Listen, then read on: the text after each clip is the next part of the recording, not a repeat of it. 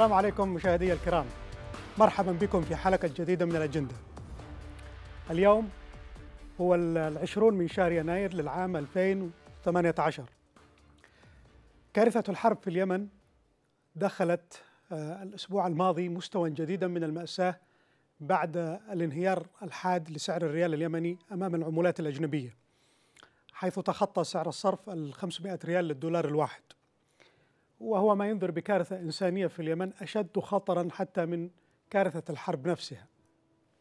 لأنه سيؤدي إلى سحق مئات الآلاف من الأسر اليمنية اللي هي على شفا المجاعة. وسيفاكم حالات سوء التغذية عند ملايين الأطفال. ومع أن قيادة المملكة السعودية قد سارعت بإيداع ملياري دولار كما يقولون كوديعة لدى البنك المركزي اليمني بجانب المليار السابق إلا أن الأمر لم يعد أمر وديعة واستقرار مؤقت لسعر الصرف وترحيل المشكلة إلى الأمام. الأمر يحتاج إلى معالجات جذرية وشاملة وسريعة قبل أن يتحول إلى كارثة إنسانية لا تحمد عقباها. الأمر يحتاج إلى حسم عسكري وسياسي للمشكلة للقضية اليمنية. لكن لأننا لسنا متخصصين في الشأن الاقتصادي فسنترك مناقشة هذه القضية لأهل الاختصاص في البرامج التلفزيونية الموازية ونهتم نحن بالجانب الإنساني منها سيكون هذا هو موضوع المحور الأول من الحلقة أما المحور الثاني فسنخصصه لمناقشة سؤال ربما يتناسب مع أوجاع اليمنيين الآن وهي وهو هل نحن على أبواب حرب عالمية ثالثة؟ ما بوادر وعلامات وشروط هذه الحرب الافتراضية؟ ولماذا سيكون الخليج والشرق الأوسط هو ميدانها. إن وقعت؟ هذه الأسئلة وغيرها سنناقشها في المحور الثاني. كونوا معنا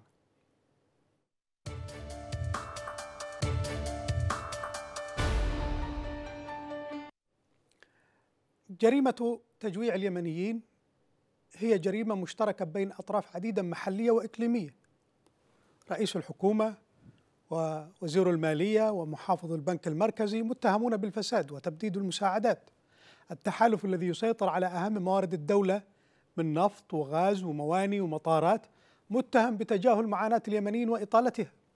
واستغلال ظروف اليمن وانكشافها غير المسبوق استغلال ذلك في تحقيق أجندة إماراتية على الأقل إماراتية مشبوهة. الحوثي بالطبع هو أول المتهمين في جريمة التجويع هذه لأنه عراب هذه الجرائم وأبوها كلها ومفتاحها ومغلاقها.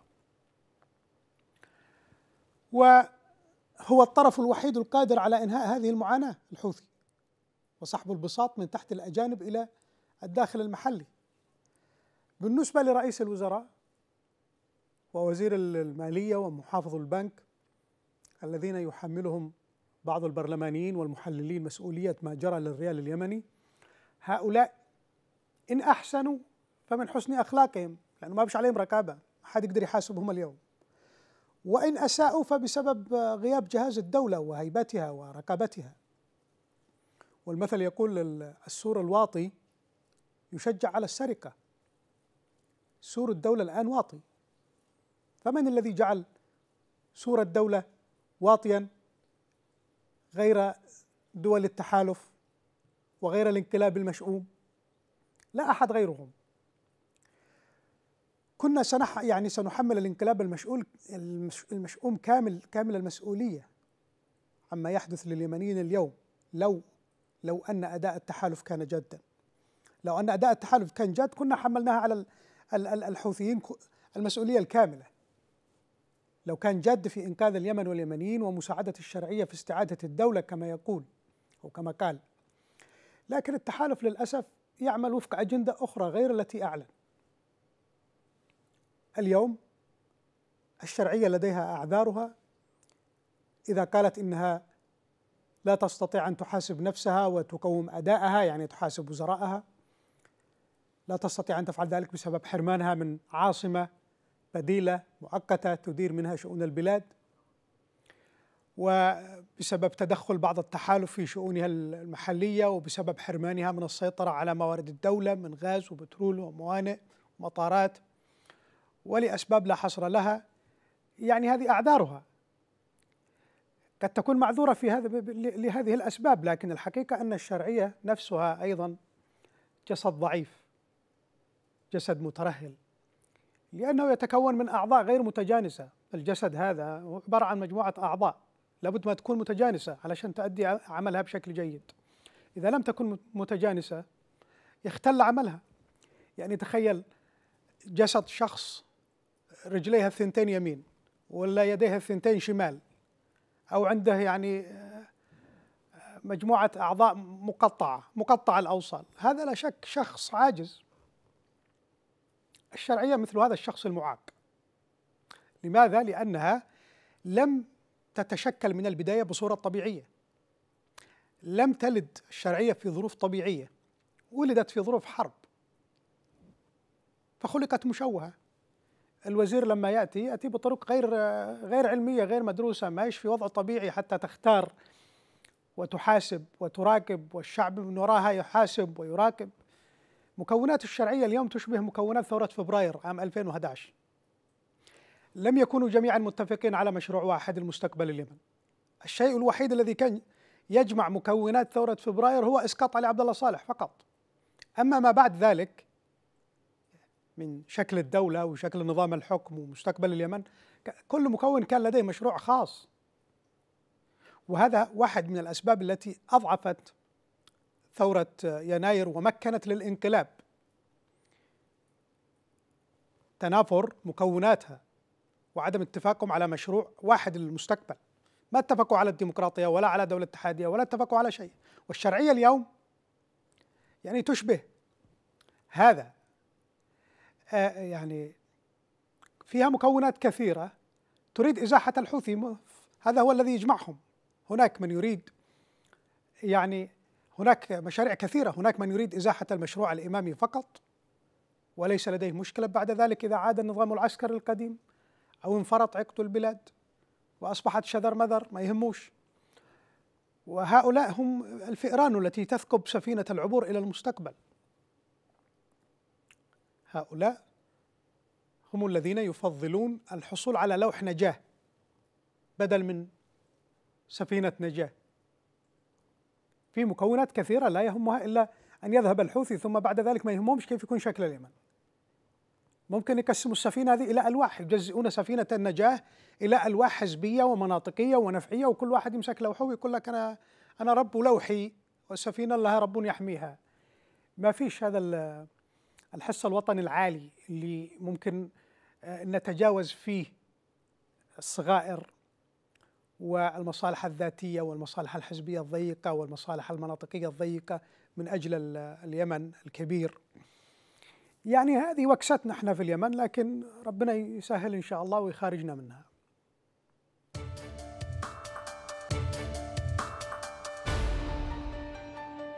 الشرعية بحكومتها لم تلد في ظروف صعبة طبيعية كما قلنا. فجاءت مشوهة. هذا عذر يجعلنا نقول لا بأس سنتحمل. لأن قضيتنا الوطنية لا تحتمل المطالب المثالية. إحنا ما, نشتيش نكون مثاليين الآن في ظل ظروف مثل هذه. نحن نرغب في العبور إلى المستقبل حتى لو على ظهر حمار عرج. هذا طبعا على افتراض أن قيادة الشرعية تحمل مشروع اليمن الاتحاد الديمقراطي طبعا. أما إذا كانت تضمر مشروع آخر يعني فوكستنا تاريخية بالفعل يعني. سنغلب جانب حسن الظن هنا ونقول إن قيادة الشرعية تفعل ما عليها تؤدي ما عليها. إذا لم يتبقى أمامنا من يتحمل مسؤولية هذه الاختلالات وهذا الفساد وهذا التجويع لملايين اليمنيين سوى الحوثي والتحالف العربي. الذي لم ينجز ما عليه المسؤولية الأخلاقية التي عليه والمسؤولية السياسية والمسؤولية الدولية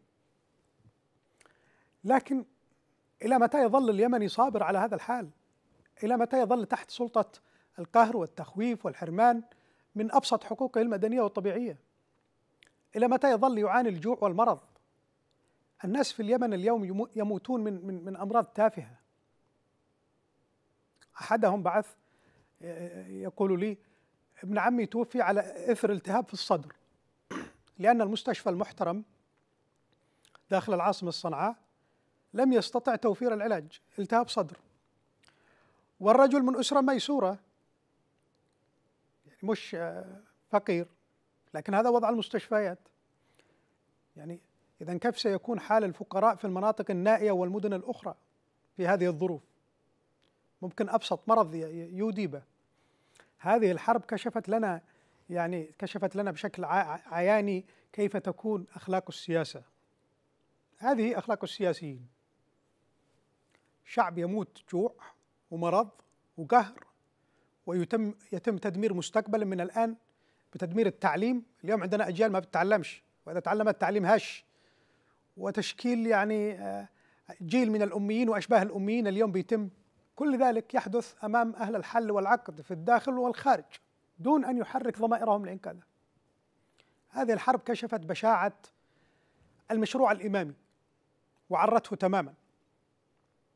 الإماميون ليس لديهم ذرة شعور بالأسف والإحساس بالمسؤولية عما اقترفته أيديهم الآثمة. الإماميون مثل أصحاب الأخدود حفروا خندق خندق الحرب وأشعلوا نيرانها وقذفوا باليمنيين إلى الخندق وجلسوا يتحدثون عن الهادي والحسين وفاطمة وحظية والولاية والولي ومن هذا. ويرفعون شعارات كاريكاتورية سخيفة عن الموت لأمريكا. أمريكا اللي اللي لولا هي قد راحوا. أمريكا التي تعيد الآن ما هدمته طائرات التحالف من ميناء الحديدة اللي هو يعد شريان حياة الميليشيا الإمامية الآن. أمريكا اللي بيتفاوضوا معها في السر وفي الغرف المغلقة. الإماميون لا يشعرون بمعاناة اليمنيين لأنهم لا يرون فيهم سوى كائنات ناقصة خلقت لخدمة السيد وعرقيته. لا يرونهم سوى عكفة للقتال وحراس للمكتسبات السلالية. يعني بلغت بهم الوقاحة أن يفكروا في اقتياد الشباب اليمني إجباريا إلى ساحات المعارك للدفاع عنهم يختطفوهم. وظهر واحد على شاشة التلفزيون يقول أن القتال واجب على من أراد ومن لم يرد. بالغصب على الجميع. ولما سألها المذيع كيف تستفيد من شخص ما عندش رغبة يحارب معك قال نحط حتى مترس. هكذا ينظر الإماميون إلى اليمنيين وهكذا يتعاملون مع قضيتهم. هذه هي المسؤولية الأخلاقية التي تعالوا نستمع إلى هذا الكائن ماذا يقول؟ أولا الجهاد ليس لمن يرغب فقط بل ومن لا يرغب لأن الله تعالى قال كتب عليكم القتال وهو كره كره لكم. لا بد أن أن التجنيد يشمل من يرغب الذي يرغب في جبهات القتال.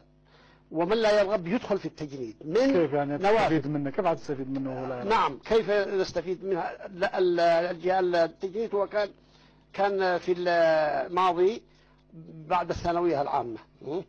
الآن بعد الثانوية العامة وبعد آه، الجامعة يعني. ومن خلال ومن خلال التوظيف.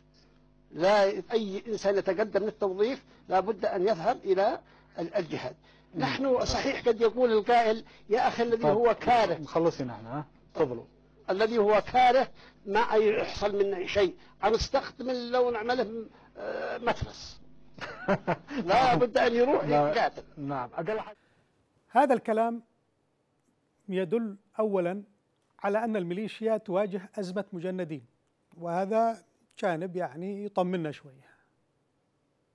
وهذا هو اللي يفسر حالات الاختطاف التي تزايدت في الآونة الأخيرة. اختطفوا الشباب من أكثر من مكان. كثير من هؤلاء المختطفين يذهبون إلى جبهات القتال قسريا. ويعودون في الصناديق. أو مشوهين مكسرين ناقصين أعضاء معاقين.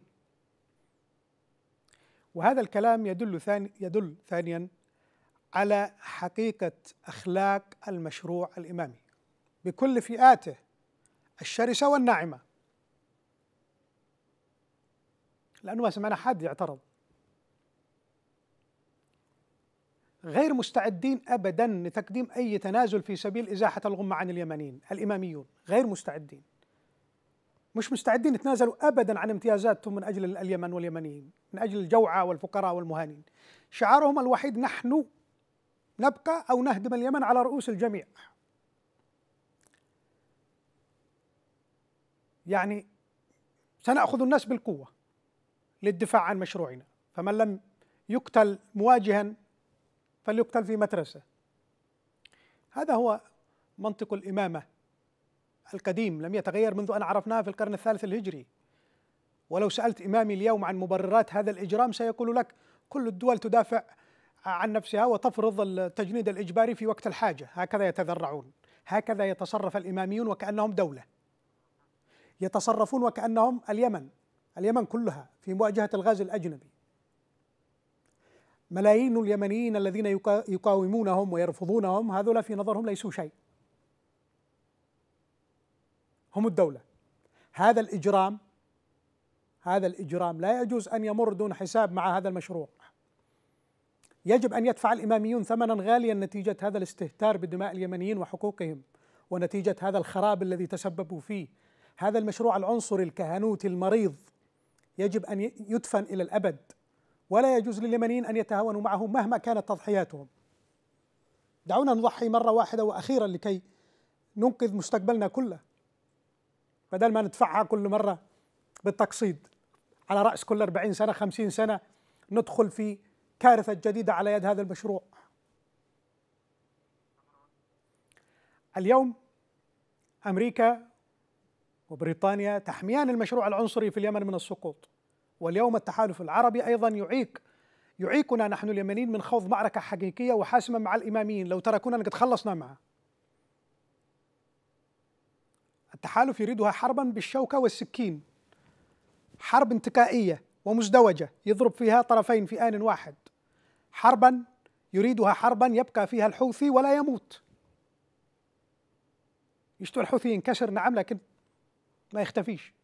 يظل المشروع قائم لتهديدنا نحن اليمنيين. حرب يخسر فيها الحوثي وتخسر فيها الشرعية ولا تربح. هذه هي الحرب التي يريدها التحالف. هذا شكل جديد من أشكال الحروب القذره ما كانش معروف من قبل. ربما لم لم يعرفه التاريخ من قبل. يحدث في اليمن وفي سوريا وفي أكثر من أكثر من مكان عربي اليوم على يد هذه القيادات العربية العجيبة هذه. والأقلية المذهبية الطائفية في اليمن وفي في سوريا وفي غيرها هي الأداة المفضلة لهذه الأنظمة العربية اللي اللي تدور في محور إسرائيل. لكن طبعا الشعوب الكبيرة والشعوب العظيمة هي التي تفرض إرادتها في نهاية المطاف. هي التي تفرض إرادتها في نهاية المطاف. لكن طبعا بمزيد من التضحيات. يعني نحن لسنا أقل شرفا من الفيتناميين الذين واجهوا أمريكا في القرن الماضي. ولسنا أفكر منهم نحن أغنى من الفيتناميين. ولسنا أقل شرفا منهم. ضحوا بالملايين في سبيل كرامتهم وشرفهم. إحنا لدينا كل كل المقومات التي تساعدنا على كسب المعركة مع الإمامة ومع المشروع الكهنوتي بشرط الصبر والتضحية. لأن خسارتنا ستكون أكبر وأفدح لو سلمنا ببقاء هذا المشروع الخبيث في اليمن. كما قلت سنكتشف على رأس كل أربعين سنة أو خمسين سنة أننا مضطرون ندفع الثمن مرة أخرى بسبب هذا المشروع الخبيث الذي ينبغي أن يجتث إلى الأبد.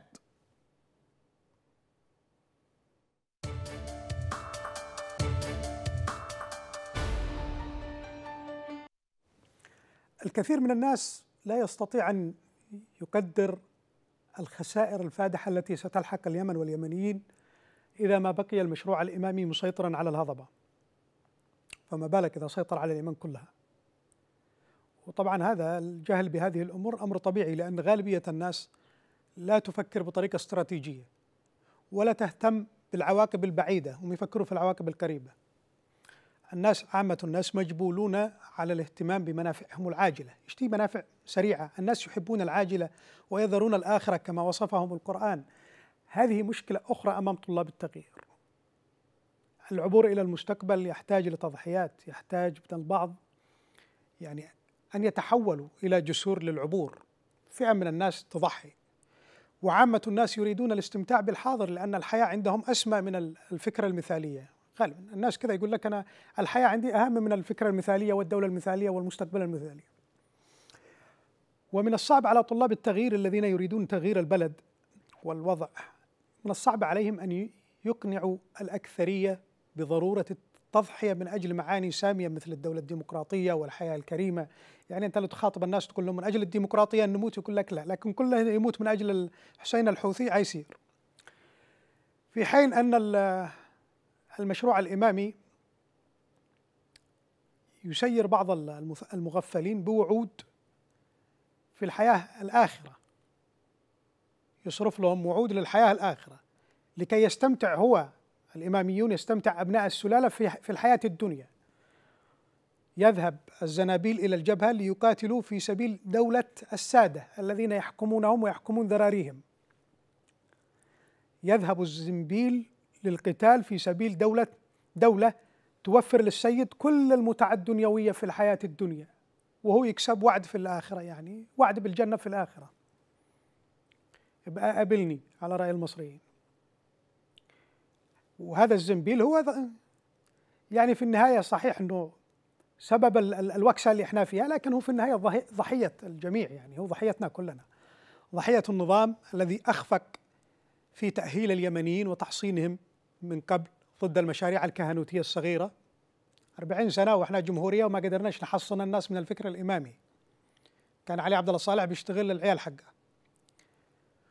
وهذا الزنبيل أيضا هو ضحية النخب المثقفة والسياسية التي اشتغلت في الكيد لبعضها بعضا وفي قضايا هامشية بدلا من الاشتغال في القضايا الأساسية للأمة بدل من الاشتغال في قضية مأسسة الدولة وقضية الديمقراطية بما تعنيه الديمقراطية من حرية ومساواة وقيم قيم يشعر أنه معني بها. ومع ذلك برغم من هذا الظلام مع ذلك هناك نقطة ضوء كبيرة في هذا المشهد المظلم. نقطة الضوء هذه هي تلك الشريحة يعني شريحة الشباب اليمني التواق للحرية الرافض للاستبداد والكهنوت العنصري. الواعي بطبيعة اللحظة التاريخية المستعد للتضحية في سبيل اليمن الحر الكريم. هذه الشريحة هي أكبر نقطة ضوء في هذا المشهد المظلم بالفعل. أعزائي المشاهدين سنذهب لفاصل قصير ثم نعود لاستكمال حديثنا عن شروط ومقدمات الحرب العالمية الثالثة. أبقوا معنا.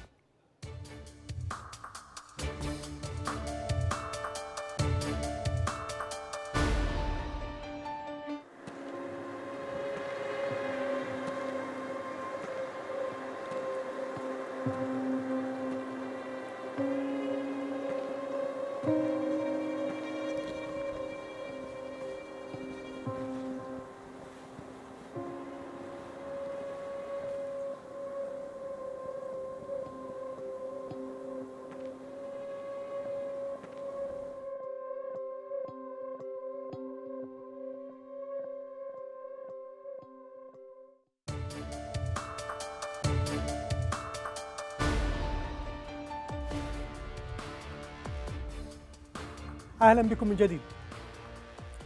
العالم ليس على ما يرام. العالم أصبح فعلا يعني مثل غابة القوي فيها يأكل الضعيف. بل أسوأ بكثير من الغابة.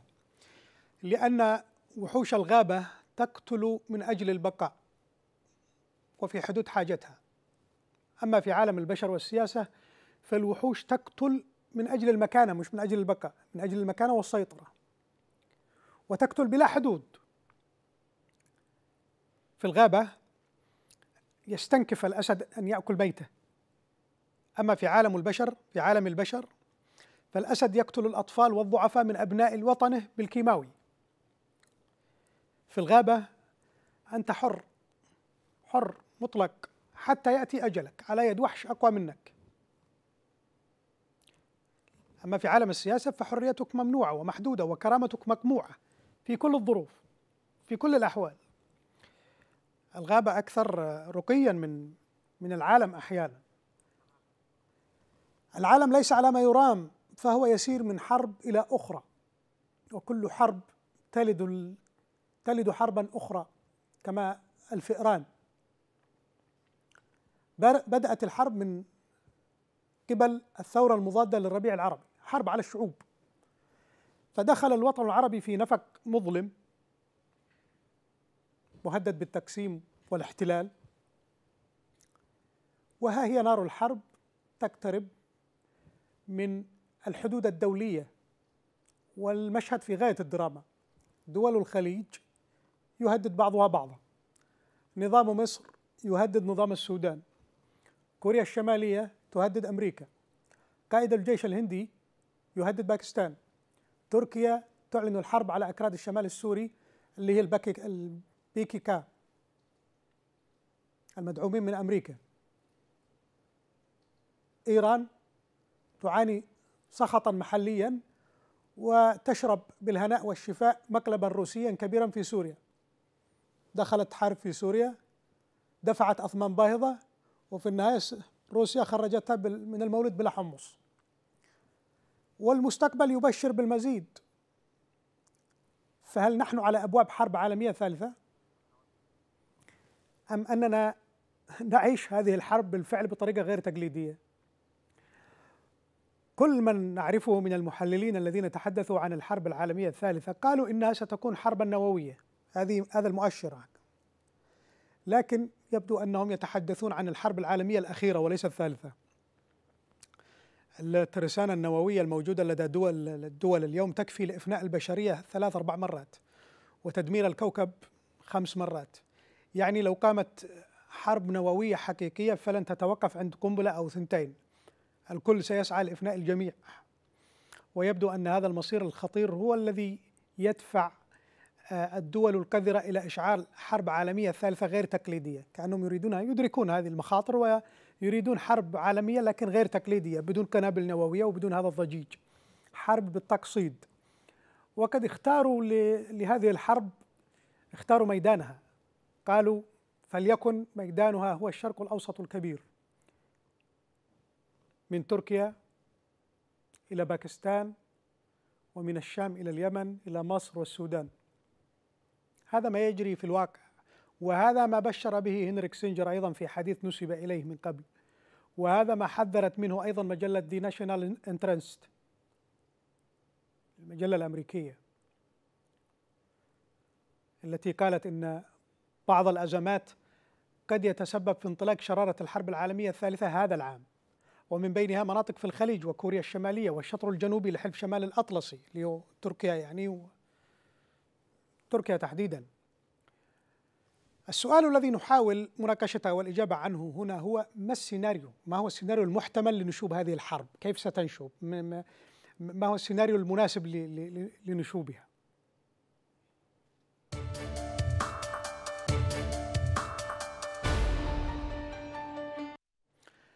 السيناريوهات المحتملة للحرب العالمية القادمة كثيرة جدا ويصعب توقعها. لكن هذا لا يمنع من الاستعانة ببعض القرائن لتوقع المستقبل. والقرائن تقول إن أهل الشر بتعبير السيسي السيسي يحب يقول أهل الشر.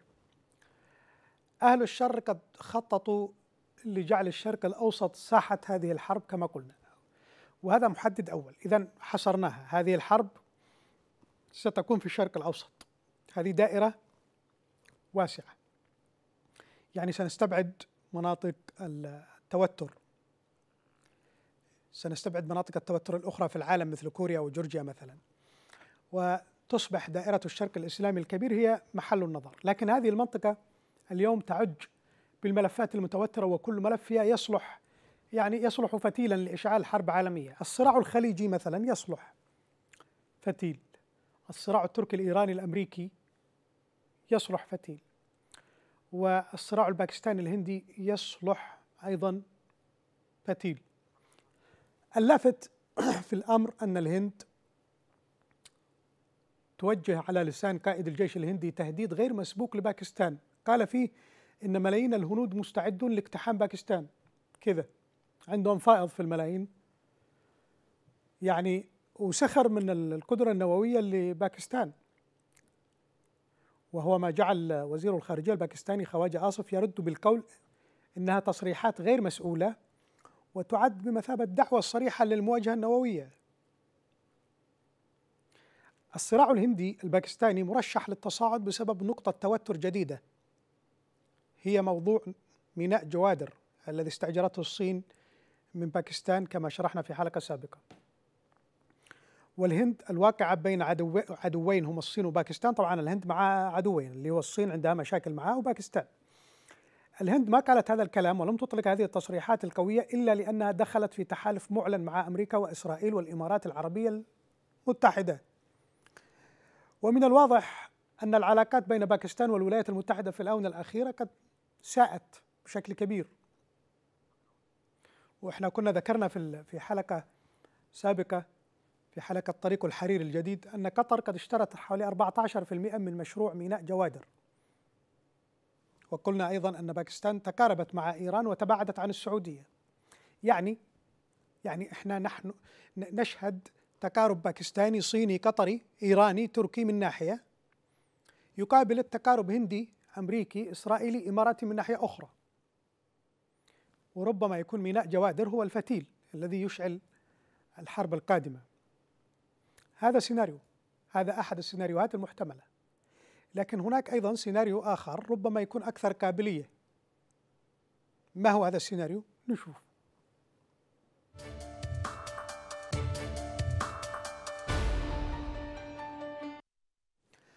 السيناريو الثاني لنشوب معركة كبرى في الشرق الأوسط الكبير. الشرق الأوسط الكبير يعني يدخل في إيران وتركيا وباكستان. السيناريو الثاني يبدأ من مغامرة سعودية إماراتية ضد قطر. هذا السيناريو قد يجر أطرافا أخرى منها إيران إلى الحرب بدوافع كثيرة. ربما يكون الهدف من اجتياح قطر أو إعلان الحرب عليها هو استدراج إيران وتركيا لمعركة شاملة مع حلف إسرائيل السعودية مصر الإمارات وطبعا من وراهم أمريكا. لكننا نستبعد تورط تركيا في حرب من هذا النوع حتى لو كان لديها قوات في قطر. لأنه مهمة هذه القوات بالأساس هو حماية يعني مهمتها هي حماية النظام في قطر أو حماية وجود الأمير تميم تحديدا. وهذه مهمة لا تحتاج إلى تورط تركيا في الحرب ما دامت تتحاشاها. تستطيع أن تقوم بها بدون الحاجة إلى خوض آه، معركة شاملة. لكن هناك حرب أو هناك سيناريو آخر قد يجر تركيا إلى حرب شرق أوسطية كبيرة مع مع الحلف الإسرائيلي حلف إسرائيل. آه، قد يشعل فتيلها ملف الأكراد ملف الأكراد. وهذا هو أكثر السيناريوهات رجحانا من وجهة نظري. يعني دعونا نتخيل كيف سيحدث هذا السيناريو من البداية. ستقوم أمريكا وإسرائيل والإمارات العربية المتحدة بدعم قوات البي كاكا الكردية الكردية المعادية للنظام التركي أو معادية لتركيا. ستكون هذه هي الخطوة الأولى وقد حدثت. ستزودها بالسلاح والمال والدعم اللوجستي اللازم آه، لتكون شوكة في حلق تركيا والنظام التركي. وهذا ما حدث بالفعل. وهو ما دفع الرئيس التركي للإعلان عن حملة عسكرية كبيرة في الشمال السوري لتأديب هذه القوات المعادية. ولدى تركيا اليوم عقيدة أمنية جديدة. تؤمن يعني بالهجوم بدل الدفاع. زمان كانت تركيا تتبنى آه، عقيدة الدفاع. اليوم تركيا الجديدة تتبنى عقيدة هجومية.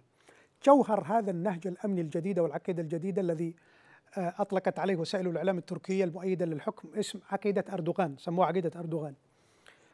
جوهرها أن تركيا يجب عليها تبني سياسة استباقية ووكائية لمواجهة المشاكل الخارجية والتهديدات الأمنية.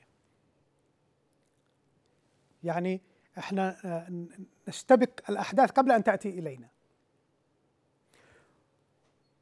آه، نوقشت هذه العقيدة على نطاق واسع في أروقة السياسة التركية وفي وسائل الإعلام التركية وتعد نقطة تحول في الأمن الاستباقي والسياسة الخارجية. وهي يعني تشبه يعني تعريف الرئيس الأمريكي الأسبق جورج بوش جورج دبليو بوش عام 2002 نفس الاستراتيجية لاستراتيجية الأمن القومي الأمريكي. وكان الرئيس التركي قد قال في اجتماع مع بعض المخاتير المخاتير مش الوزراء ولا الضباط المخاتير اللي هم قريبين من الشعب وكأنه في رسالة يشتي يوصلها للناس. يقول لهم لن ننتظر المشاكل حتى تدق أبوابنا ولن ننتظر حتى اللحظة الأخيرة حتى نغرق تماما في المستنقع. مش حننتظرهم لما يجوا لنا للأبواب للداخل. هل هناك مشكلة مع الإرهاب؟ لن ننتظر حتى يدق خطر المنظمات الإرهابية أبواب بلادنا. سنلاحق هذه المنظمات وننقض عليها أينما وجدت. لإنهاء فعاليتها والقضاء عليها. وفقا لهذه العقيدة الأمنية وفقا لهذه العقيدة فإن تركيا ستمضي إلى نهاية المطاف من أجل حماية أمنها القومي. لكن نهاية المطاف هنا قد لا يكون سوريا بل إسرائيل لضرب رأس الحية في المنطقة والقضاء على أهم القواعد الأمريكية في العالم. ربما ستجد تركيا نفسها مضطرة لتأديب أمريكا في إسرائيل إذا أصبح أمنها القومي مهددا بالفعل. ربما. وهذه حرب لو استعرت ستستدعي أكثر من طرف في المنطقة ومنهم إيران والجماعات الإسلامية السنية والشيعية. طبعا القيادة التركية كانت مدركة لطبيعة المخططات الأمريكية ضد تركيا من وقت طويل وحاولت بطريقة ذكية إيصال هذه المفاهيم للشعب التركي بدون يعني تصريحات سياسية ومشاكل تسبب مشاكل مع الإدارة الأمريكية. آه، لجأت القيادة في تركيا إلى تضمين هذه الرسائل الرسائل التي تريد إيصالها للشعب ولشعوب المنطقة ضمنتها عبر مسلسلات درامية. من منها مسلسل وادي الذئاب. هذا المسلسل يحمل كم كبير من الرسائل رسائل التوعية السياسية. وادي الذئاب طبعا يقصد به منطقة الشرق الأوسط أو المنطقة المحيطة بتركيا. من وجهة نظر الأتراك. هو وادي يشبه وادي الذئاب تعالوا نشوف هذا المقطع القصير من آه، مسلسل وادي الذئاب كيف يوجه رسائله Türkiye Kürtleriyle Türklerin mezhepleri ayrı zannediyorsunuz. Şafilik ve Hanefilik Sünni mezhebinin iki farklı yorumu. Siz bunu protestanlık ve katoliklik arasındaki farkla paralel yorumlamışsınız. Fakat böyle büyük bir fark yok. Bu küçük yorumlardan büyük farklar ortaya çıkar. Ayrıca biz ayrışmanın etnik temelli olacağını düşünüyoruz. En büyük hatanız da bu. Orta Doğu'da etnik bilinçle dinsel bilinç iç içe geçmiş durumdadır. Ama seçim yapmak gerektiğinde her zaman dini parametreyi ön plana koymak gerekir. Siz Suriye ve Irak'taki Arapları bir araya getirebildiniz mi?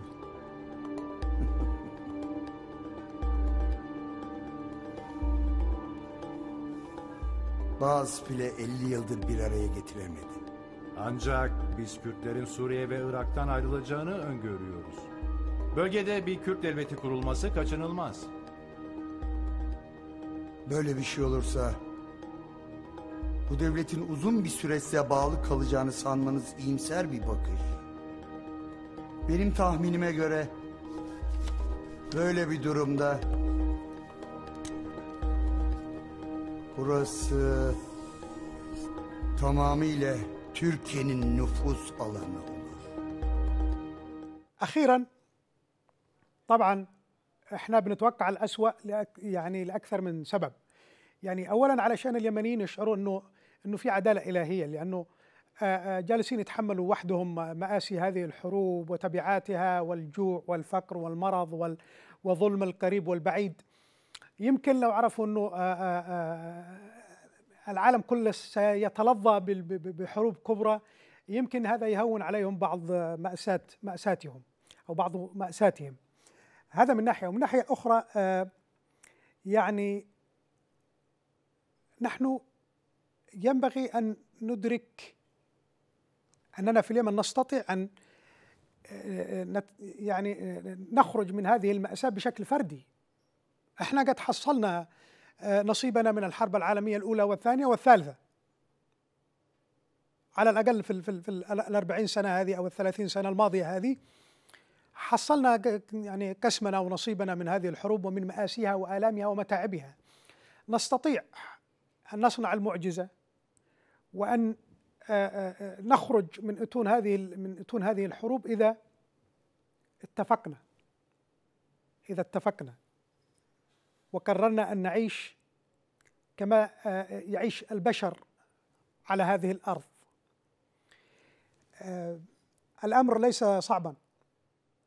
كل واحد يقدم تنازل حقيقي لصالح اليمن الكبير. وسنصل. أعتقد أعتقد اللي بأيديهم الحل والعقد يستطيعون ذلك وإلا فإن التاريخ سيلعنهم. ومش التاريخ بس التاريخ والجزاء في الدنيا ربما يأتيهم كما آه، وصل إلى الذين من قبلهم قبل أسابيع. هذه نقطة النقطه أخيرة. يعني آه، ربما هذه الحرب التي أو التي نتوقع نشوبها في الشرق الأوسط تكون يعني مصداق لنبوءة سورة الإسراء. وهذه النبوءة آه، تزود الم- المؤمنين بكثير من الأمل. ونحن محتاجون في هذه اللحظات التاريخية الصعبة لبعض الأمل.